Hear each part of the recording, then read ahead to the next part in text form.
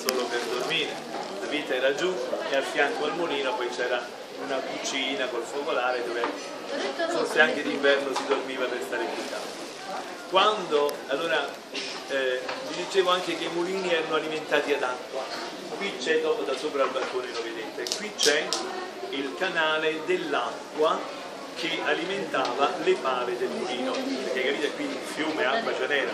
Quando Bernardetta con le amiche, con la sorella e l'amica sono andati alla grotta a raccogliere legna, non è che hanno attraversato quel fiume, era impossibile, freddo, febbraio, loro hanno attraversato questo canale che eh, era un affluente del fiume, cioè a monte deviavano e poi giù si ricongiungevano. Quindi loro non hanno attraversato quel grande. Oggi noi vediamo il grande fiume, dire, contenuto negli argini per recuperare la piazza, ma ai tempi di Bernardetto il fiume entrava nella grotta perché era un selvaggio, perciò poteva portare la legna che cadeva dai boschi e perciò poteva portare le ossa che lì in quelle insenature si fermavano. Ma loro, le bambine, hanno attraversato questo canale.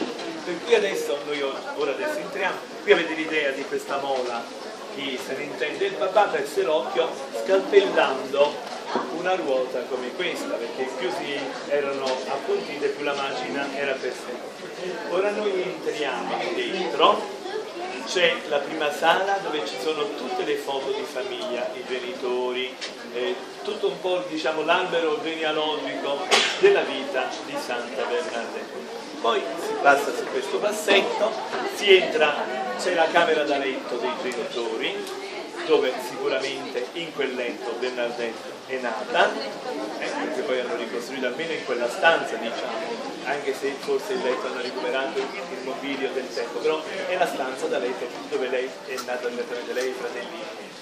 Poi si passano nelle altre stanze e si scende giù.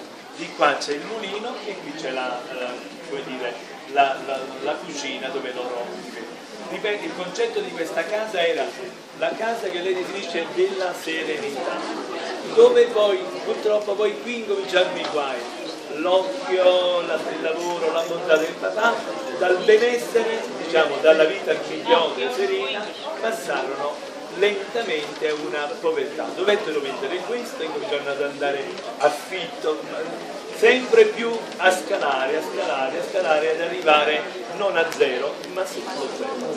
Ecco, se passate su quella scala cominciate a entrare, non questa, c'è una scala di you.